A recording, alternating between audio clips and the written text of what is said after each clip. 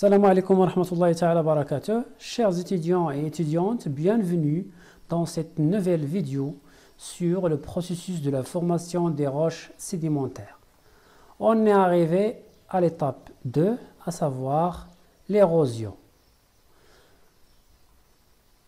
Donc, on commence cette étape de l'érosion.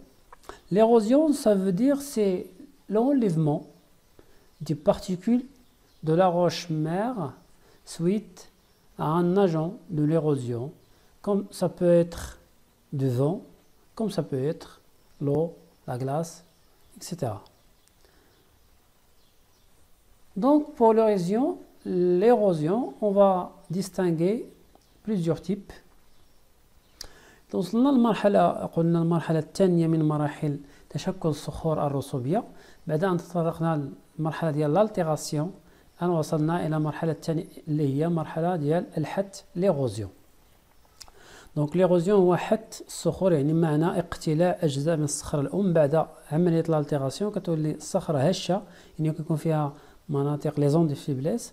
دونك بعد ذلك يتدخل عملية الحت لإزالة هذه العناصر الحتاتية من الصخرة. دونك on parle de, de l'érosion. donc on va distinguer plusieurs types de يكون عندنا مجموعة من الأنواع الأصناف من من الحت Premièrement, on a l'érosion éolienne, الحت الريحي. Ça veut dire que l'agent ou le facteur qui intervient ici, c'est le vent. الحت الريحي يعني اللي غيدير عملية الحت في هذه الحالة هو لو فون اللي هو الرياح لو فون. On a également euh, l'érosion fluviatile, ou bien fluvial, fluviatile, et ruissellement. دائما تنقولوا ruissellement et fluviatile ça veut dire الحت النهري اللي كيوقع على مستوى الأنهار والأودية وحتى ملي تيكون عندنا السيول بعد تساقط الأمطار كيكون عندنا السيول دونك كنهضروا على غويسيلمون مياه الجريان آه والمياه ديال الأنهار والأودية دونك سيت ايروزيون هاد الحت هذا اللي غيوقع في هاد الانهار والاوديه بيان سور غيكون لاجون ولا لو فاكتور كي انترفيان ايسي سي لو اذا الماء هو اللي غيدير الحت ديال هاد العناصر الفتاتيه لهاد الصخور On a également l'érosion karstique. Karstique, on a déjà parlé de karst, le karst, البنيات الكارستية, les paysages karstiques. هاد لي بيزاج هادو كنلقاوهم في لي روش كالكير. سا دير في الكلس الصخور الكلسية. دونك كيس كي سباس ديجا قلنا أن لو هو لو فاكتور اللي كيدير هاد العملية الحت ديال الكالكير ديال الكلس لكن هاد لو الي شارجي اون سي أو 2 دونك لا ديفيرونس ايسي هو أن هاد لو الي شارجي اون سي أو 2 ماء تيكون ماء سي أو 2 خاصة اذا كان طبعا قلنا دوك الأمطار اللي كتسقطوا طبعا في الغلاف الجوي كيكون عندنا سي أو 2 بنسبه كبيرة دونك كيتفاعل الماء مع سي أو 2 il va donner il se comporte comme un acide faible. هذا الماء هذا يولي بحال شي حمض اللي هو خفيف وبالتالي لا حمض أش كيدير الحمض للكال الكالكير الكيلس دونك راه كيذوبوا ملي كيذوبوا هاد الأمطار ملي كتسقط على كيس كيذوب الكيس كيعطينا بنيات على مستوى هاد الصخور الكلسيه كنسميوها البنيات الكارستيه هما عموما هما اللي كنلقاو في المغارات ايتترا دونك اون بارل de d'érosion karstique donc l'agent ou la, le facteur ici c'est l'eau chargée en CO2 on peut trouver également une érosion glaciaire الحت الجليدي دونك ملي تيكون عندنا مناطق فيها الجليد بزاف غتيوقع حت للصخور donc, il Mais le facteur qui intervient ici, c'est la glace, ça veut dire l'eau à l'état solide. On parle de la glace, donc c'est l'agent qui intervient ici dans ce type d'érosion. Et finalement, on va parler de l'érosion qui se passe au niveau euh, dans le domaine marin. C'est une érosion marine, al-hat al-bahri.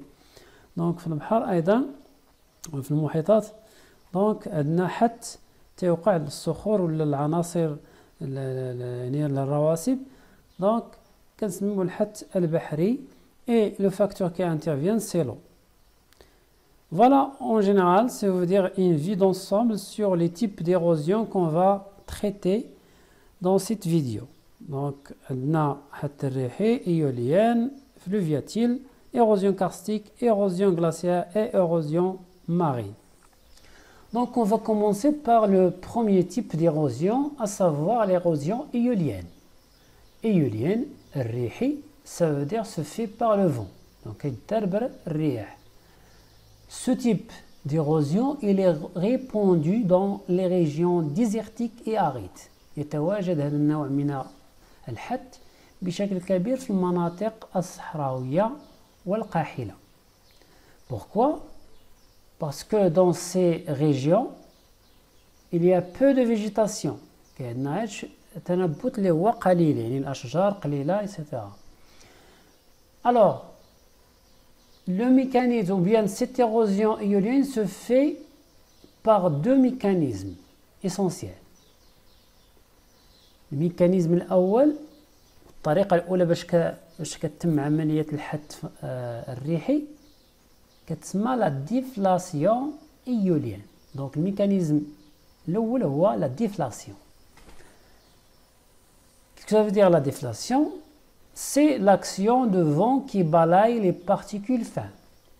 La déflation ou le masah, اسمه هذا بالانكماش ولا المسح ça veut dire que les roches اللي كاين هنا اش كيوقع عليهم au premier temps يوقع عليهم l'altération après l'altération كيوليو فيها مناطق هشه تيوليو لي بارتيكول ممكن يتحيدوا بسهوله après l'altération alors كتجي هاد العمليه اللي هي la déflation donc il élimine, ça veut dire balaye les particules fines. Donc les particules fines. Donc, le résultat de cette déflation, le mécanisme le résultat, c'est la formation de surfaces rocheuses dénudées. تكون هنايا مساحات صخريه عاريه وغادي اش كنسميو هادو هاد المساحات الصخريه العاريه هنايا اللي كيجيو سويت اون ديفلاسيون كيتسموا لي حماده صحاريين كيتسموا لي حماده صحاريين دونك لي حماده صحاريين هو واحد لو ريزولتا واحد النتيجه ديال la déflation ionienne. Alors, la déflation ionienne, elle va donner les hamadas sahariens.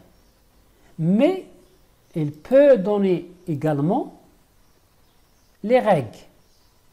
Avec la déflation, on peut les hamadas, on peut les règles. Alors, qu'est-ce que ça veut dire les règles On a des surfaces de cailloux. Regardez les règles. Les règles, هما في هذه الحالات يكون عندنا surfaces elle est pleine de cailloux.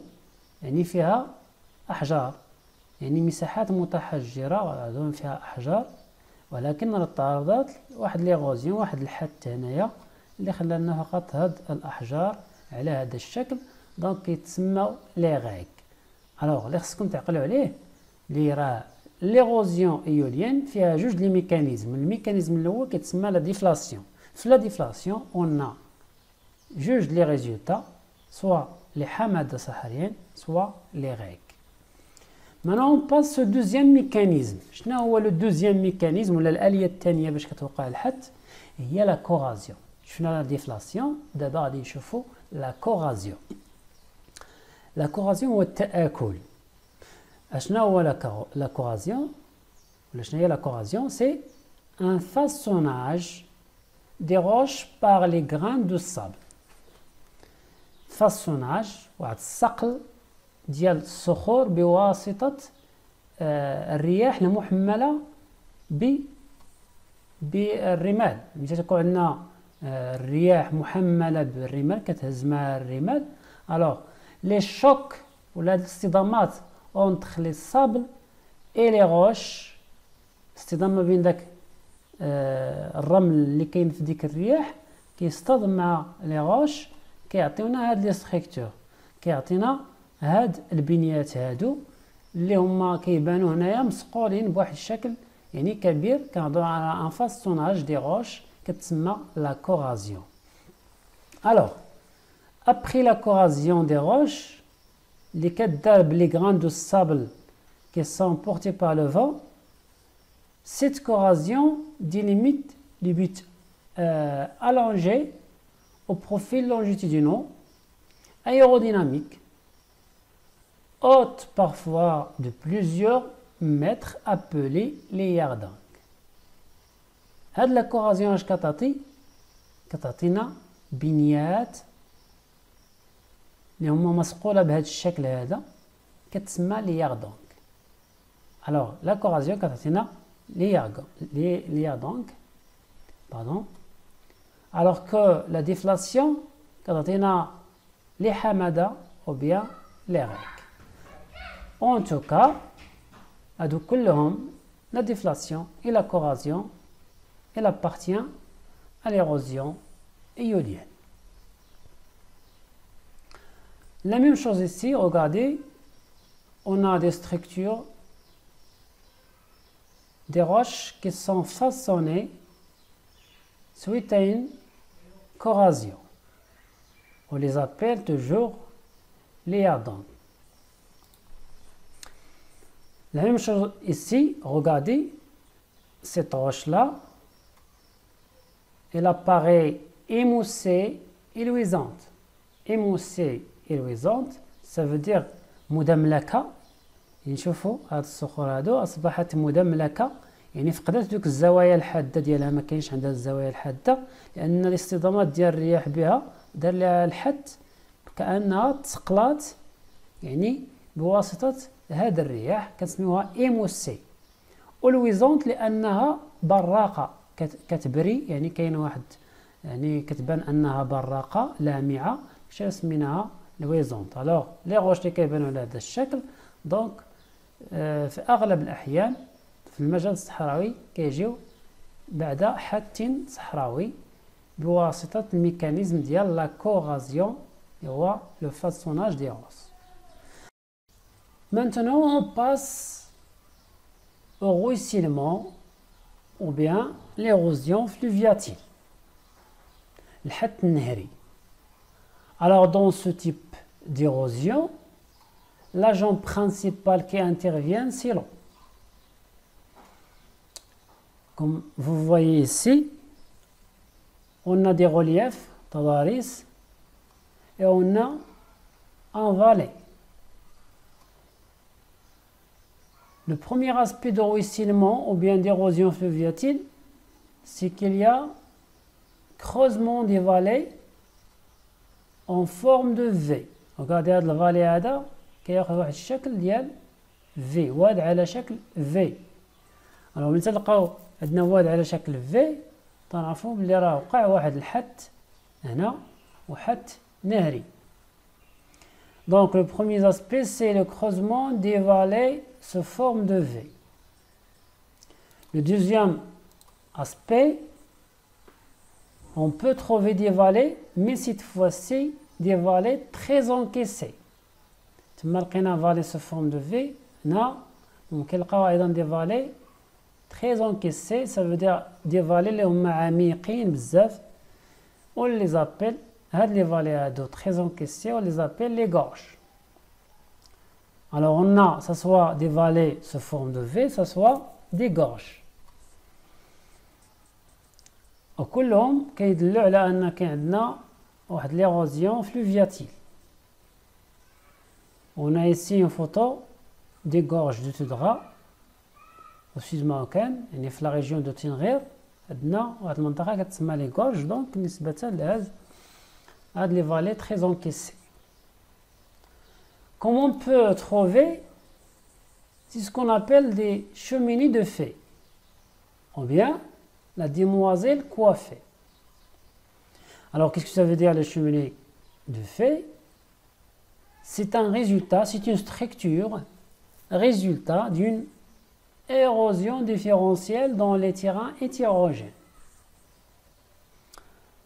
Voilà le cheminée de fée, regardez, a les structures à deux, les le cheminée de fée ou là, la, demoiselle coiffée. الوغ ملي كنلقاو هادو كنعرفو بلي راه المنطقة وقع فيها واحد الحت وحت ناري دو غويسيلمون بوركوا هنا عندنا واحد الطبقة ديال لي زارجيل ديال الطين. طبقة كانت عامرة قاعد القنت كاملة فيها الطين. مي سويت ان ويسيلمون هذاك المياه ديال الجريان ديال الأمطار والسيول وقع الحت. سافيزير اون ايغوزيون في هذه المنطقة كاملة. مي لا كيستيون علاش ما وقعش حتى هنا؟ في هاد لي ستركتور هادو علاش بقاو هادو؟ Ici, on a des blocs. عندنا هنا جلاميد كبيرة فوق من هذه الطبقة ديال لاجي الوغ اش دار هاد الجلاميد؟ دي بلوك كي سون تخي لوغ تقال rendent l'argile sur laquelle elle repose plus compacte. هادوك الجلاميد خلاو هاد الطبقات ديال الارجيل تكون قاصحة بزاف.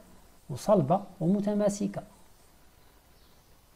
اي لا بروتيج دو رويسيلمون وهي اللي حماتها يعني من هاد الانجراف اللي ممكن يوقع لها بمياه ديال السيول. الوغ حنا اللي خصنا نعرفو أنه ملي كنلقاو هاد لي ستركتور هادو اللي هما لي شوميني دو في كنعرفو بلي راه فهي شاهدة. تيموان على ايروزيون فلوفياتي On peut également trouver le, 3, le quatrième aspect, c'est la formation des terrasses étagées. On peut trouver ce qu'on appelle des terrasses étagées. Les terrasses étagées, c'est un résultat de l'érosion fluviatile. Comment?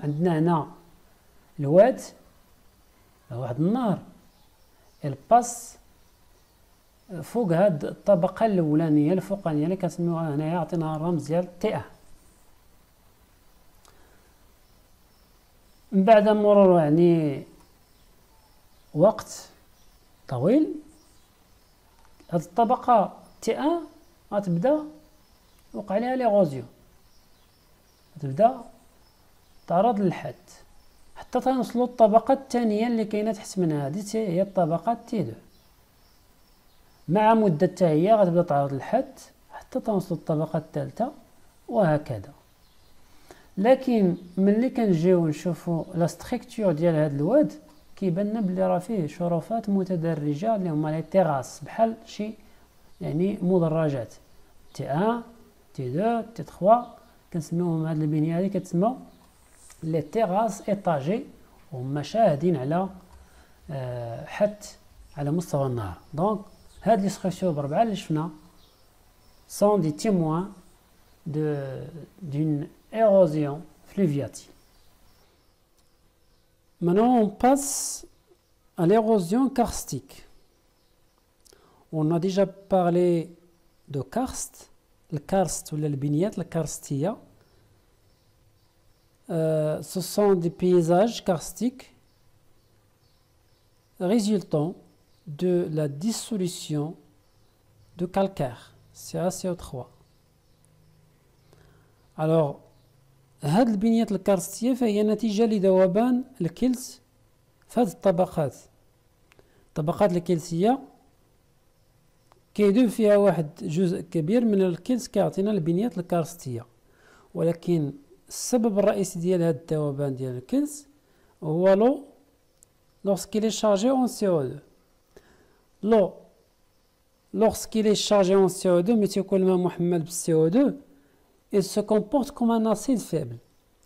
كيلعب الدور ديال واحد الحمض وهذا الحمض هذا هو اللي كيذوب الكيلس كيعطي ان افيرفيسونس دونك كيذوب الكيلس راه ملي كيذوب الكيلس كيعطينا مجموعه من البنيات في المناطق اللي دار فيها الكيس كيتسمى دوك البنيات البنيات الكارستيه ولا لي بيزاج كارستيك Alors on va euh, parler un petit peu de ces structures karstiques. غادي نشوفوا شنو هما هاد البنيات أول بنية هي لي لابياس لي لابياس هي واحد النتيجة ديال dissolution de calcaire dans les terrains calcaires شنو هما لي pièces ce sont des formations géologiques résultant de ruissellement ملي تيكون عندنا الماء ديال لو ruissellement chargé en CO2 كيخلي في هاد الطبقات اللي هما كالكار في الطبقات الكلسيه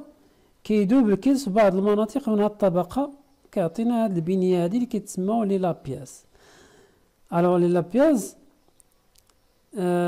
دونك كياخدو لا فورم دي سيزولور فوالا هادو هما لي سيزولور هنايا فين داب الكلس كياخدو هاد الشكل كيتسمى لي سيزولور وهاد لي سيزولور il peut atteindre plusieurs mètres de profondeur يعني كيكون العمق ديالها يمكن يكون ب يعني بأمتار وكتكون عميقة شيئا ما هاد لي سيزولور هادو alors je répète le premier aspect d'érosion karstique هي la formation de l'apias في les terrains calcaires اللي هما se forment du ciselure de grande profondeur ديال العمق كبير le deuxième aspect de l'érosion karstique c'est la formation des dolines et des gouffres بعض كيتكونوا عندنا بنيات اخرين كيتسموا لي دولين ولا بنيات اخرى كتسمى لي gouffres alors qu'est-ce que ça veut dire les dolines regardez ici les dolines sont des dépressions plus ou moins arrondies de la surface dans laquelle le calcaire a été dessus l'eau de pluie. Donc مثلا تاعو عندنا امطار في التيران كالكار في واحد بنيات كلسيه ممكن انه ملي كيدوب هذا الكيس هذا يعطينا واحد البنيه اللي هي دائريه اغوندي ولا شبه دائريه ولكن طبعا كيكون العمق ديالها قليل ماشي عمق كبير ألو هادو كنسميوهم لي دولين مي ملي تيكون عندنا هاد لي دولين نيت تيكون العمق ديال ديال ديال لا ديسوليسيون ديال الذوبان ديال الكيس كبير بزاف كيعطيونا سكون ابيل لو غوفر فوالا سي لو فون دو لا دولين كونتيني ا سو كروزي كيتحفر أكثر اون بو افوا لا فورماسيون دي غوفر أو افين دي غوفر ولا لي زافين اللي هما يعني آه بنيات دائريه عرفت يعني ذوبان كبير للكيس خاصة في الأعماق. Alors on a des dolines et du gouffre.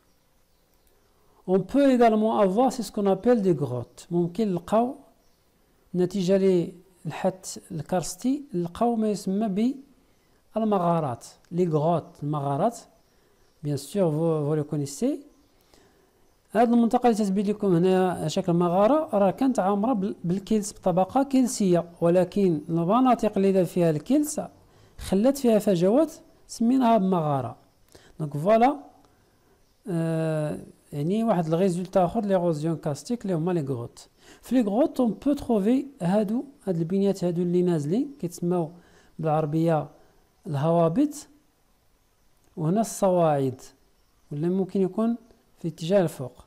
الوغ بالفرنسيه ولي زابيل لي ستالاكتيت اللي من الفوق نازلين للتحت كتسماو لي ستالاكتيت واللي من التحت طالعين الفوق كتسماو لي ستالاغميت وكلهم سو دي ديبو دو كالكار l'érosion glaciaire.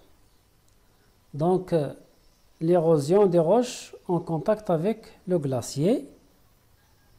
Bien sûr, l'agent ou le facteur principal ici, c'est la glace.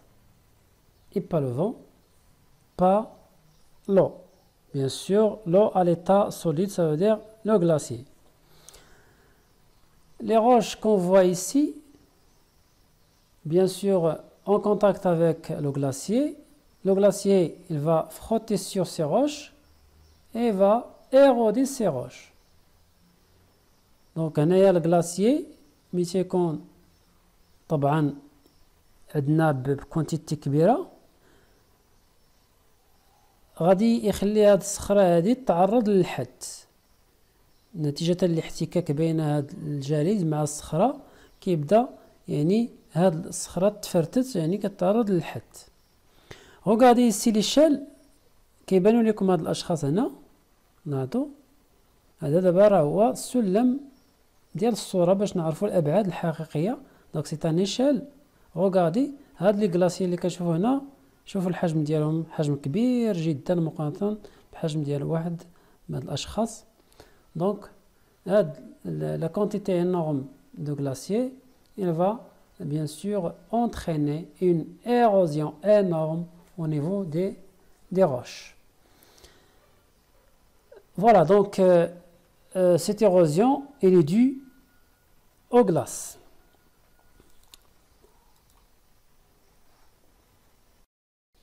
Alors, le premier résultat de l'érosion glaciaire, c'est la formation des roches motonnées et striées. Le deuxième résultat de l'érosion de l'érosion glaciaire, c'est la formation des vallées. Mais cette fois-ci, les vallées, elles prennent la forme d'un U ou bien la forme en orge. C'est euh, bien sûr tout à fait différent de l'érosion fluviatile. On a dit que pour l'érosion fluviatile, on a la formation des vallées en V. Mais pour l'érosion glaciaire, on a la formation des vallées en U, bien en H. Voilà donc la différence entre l'érosion glaciaire et l'érosion fluviatile. هنا كيتكون عندنا واد مي الواد الا كتلاحظوا الشكل ديالو كياخذ الشكل ديال U ماشي الشكل ديال V هنا كاينه لا ديفيرونس لا فرق ما بين l'érosion glaciaire et l'érosion fluviatile اللي ديجا شفناها Maintenant, on passe à l'érosion marine. L'érosion qui se fait au niveau, dans le domaine marin. Dans le hat al-Bahri. Donc, euh, cette érosion, elle est due principalement aux vagues. L'agent, bien sûr, c'est l'eau, euh, par les vagues et par les courants marins. Et dans regardez ici, à des structures euh, rocheuses ici, كيتعرضوا باستمرار لي فاغ الامواج حركه ديال الامواج كيخليهم يتعرضوا للحت وكاين أيضا التيارات البحرية التيارات البحرية وحركة ديال المياه نتيجة هذه التيارات كتؤدي طبعا إلى حت هذه الصخور. إضافة إلى أن كاين حتى هنايا بالنسبة للايغوزيون مارين راه كاين فيها أيضا لانترفونسيون دو فون حتى الرياح كتدخل هنايا في الحد أيضا ديال هاد الصخور في المجال البحري. Euh, on a terminé. Euh, si vous dire les différents types d'érosion qu'on a vu. Pour conclure, euh, les érosions mécaniques et chimiques se combinent pour aboutir à la destruction des reliefs continentaux. Et dans l'érosion mécanique, الكيميائية والميكانيكية كيأديو بشكل عام إلى يعني تدمير ديال التضاريس القارية Le taux d'érosion mécanique est très influencé par l'altitude moyenne des continents. نسبة لدرجة الحد الميكانيكي يتأثر بعلو التضاريس لكن آه، يعني درجة الحد الكيميائي يتأثر أساسا بالمناخ وطبيعة الصخور هذا هو لا ديفيرونس بالنسبة للحد الميكانيكي يتأثر أساسا بالعلو ديال التضاريس في لي كونتينون في القارة لكن الحد الكيميائي يتأثر بالمناخ وطبيعة الصخور هذا الشيء ديجا شفناه في لالتيراسيون شيميك هنا كتأثر بلو كليما et la nature des roches. La nature des minéraux des roches. Voilà un petit résumé, si vous voulez dire, de l'érosion. L'étape 2. L'érosion, ça peut euh, fait par le vent. On parle d'une érosion éolienne. On a deux mécanismes. Une deflation va donner des hamadas et des règles. Ou bien, par le deuxième mécanisme, la corrosion, il va donner l'air donc. Érosion par l'eau, de ruissellement ou bien fluviatile. Il va donner comme résultat creusement des vallées en V, creusement des vallées encaissées appelées les gorges, ou bien les cheminées de fées, ou bien la demoiselle coiffée. Comme on peut trouver également des terrasses étagées. Voilà les quatre aspects c'est un, résultat de, l'érosion fluviatile. L'eau également intervient dans l'érosion karstique, mais cette fois-ci l'eau est chargée en CO2. Il va donner comme résultat des dolines et des coffres, des lapaises et des grottes. L'érosion glaciaire se fait par la glace. Le résultat de cette érosion, c'est la formation des roches motonnées et striées et creusement des vallées en, en U. Dans le domaine marin, on aura une érosion marine. Se fait par l'eau, plus exactement par les vagues et par les coraux.